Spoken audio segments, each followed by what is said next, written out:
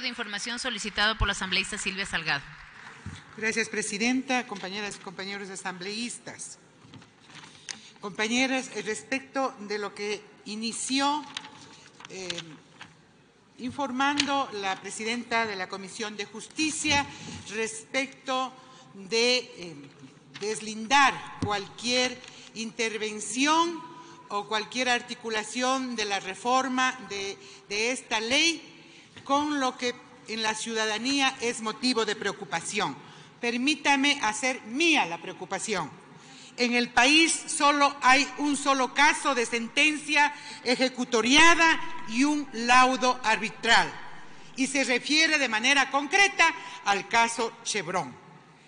En, el laudo arbitral en contra del país emitido por la Haya, entre otras cosas, se pide desconocer la sentencia en contra de la empresa Chevron, sentencia que fue ratificada por la Corte Nacional, por la Corte Constitucional.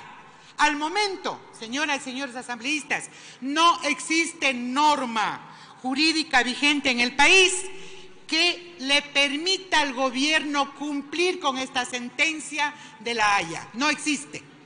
Entonces, en este proyecto de ley, en el capítulo sexto, respecto al recurso de revisión, se establece justamente proceder contra sentencias ejecutoriadas y establece inclusive un plazo para interponer de hasta 10 años.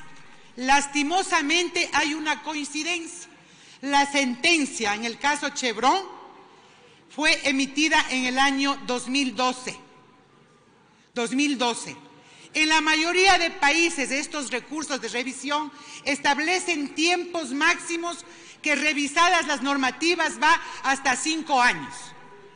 Si se establece diez años, de hecho existe la preocupación, que lo hago mía, que pongo también a consideración de ustedes, en función de defender los derechos de ciudadanos amazónicos, de ciudadanos ecuatorianos, de seres humanos afectados que acudieron a la justicia en la defensa de sus derechos.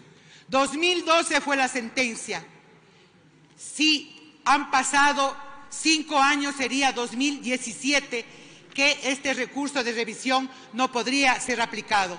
Pero si estamos ampliando a 10 años, si estamos ampliando a 10 años hasta el 2022 o 23, podría inclusive pedirse revisión. Una sentencia que se dé en este año podría tener recurso de revisión hasta el año 2028. Finalmente, señora presidenta, y a través suyo, la presidenta de la Comisión de Justicia, yo realmente no puedo, jamás dudaría, dudaría de la intencionalidad de hacer esta norma para favorecer a una transnacional. No creo que sea el caso, pero simplemente advertimos esta situación, porque la causal que están estableciendo en esta norma precisamente coincide con la situación que tiene el país, el Estado ecuatoriano en el caso Chevron porque dice que una de las causales para aplicar el recurso de revisión es existir sentencia o laudo de una corte o tribunal internacional en el que se haya declarado responsabilidad internacional del Estado como, consecuencia de una sentencia ejecutoriada. Esta es, al menos, la gran coincidencia que esperamos no sea precisamente la intencionalidad de esta reforma, pero que es importante ponerlo como elemento de debate cuando está de por medio una situación del Estado ecuatoriano, de la vida de ecuatorianos y una demanda antes que cualquier tema de politización de derechos humanos de la gente y de derechos, en este caso particular, de los amazónicos. Muchísimas gracias.